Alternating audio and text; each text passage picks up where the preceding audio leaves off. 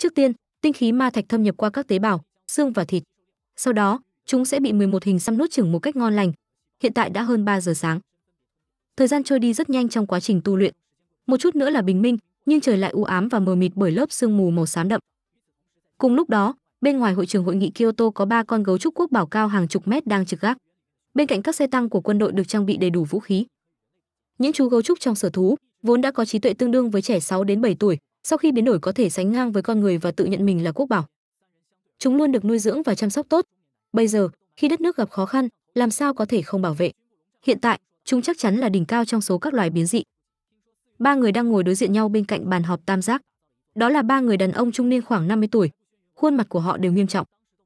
Nhìn vào cảnh tượng tàn phá trên màn hình chiếu phản ánh sự bất lực, Chen sen, Bộ trưởng Quốc phòng, nói, cuộc biến đổi này đến quá bất ngờ, làm cho chúng ta không kịp phản ứng. Nghe nói vào tháng 4, Trung đất đai và là chủ tịch giàu nhất thành phố Long Giang đã đầu tư hàng trăm tỷ để xây dựng một khu trú ẩn lớn. Liệu cậu ấy có thể biết trước tương lai không? Bộ Tài chính Vương Nhĩnh Vương gật đầu, đúng, lúc đó chúng tôi không để ý. Liệu cậu ấy có thể biết trước tương lai hay chỉ là may mắn? Nhưng Vương Nhĩnh lại nói, các bạn có tin rằng trên thế giới này có những sự trùng hợp đến như vậy không? Vấn đề này không đơn giản. Khi nói đến đó, ông lướt qua màn hình ảo và chuyển đổi video vệ tinh đến phía khu trú ẩn. Khi thấy cảnh tượng bên kia, cả ba người ngồi đều hít một hơi lạnh khi nhìn thấy cảnh tượng vô tận của hàng chục vạn con kiến hành quân, có kích thước như chó sói trưởng thành, bao quanh khu trú ẩn. Những con chuột khổng lồ, lớn hơn cả hổ, hoành hành trong khu vực, lao vào đám quân đội.